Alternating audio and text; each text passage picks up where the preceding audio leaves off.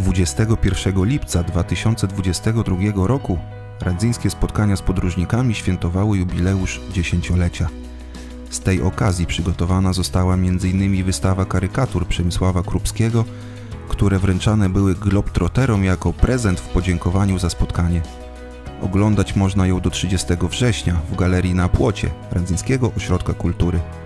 Ogrodzenie stadionu miejskiego na wysokości ścieżki rowerowej Bulwar nad Białką.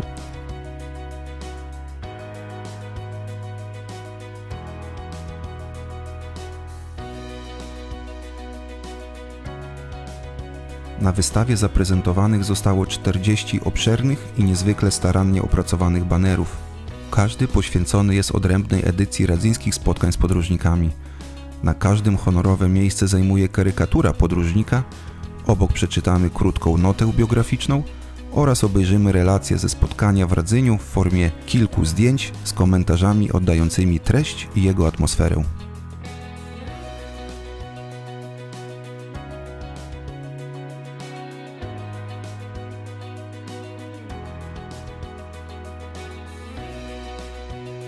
Przemysław Krupski urodził się w 1975 roku w Radzyniu Podlaskim.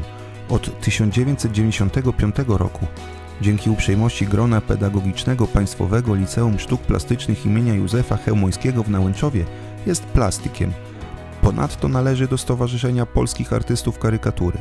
Zajmuje się ilustracją prasową i książkową, karykaturą, grafiką użytkową.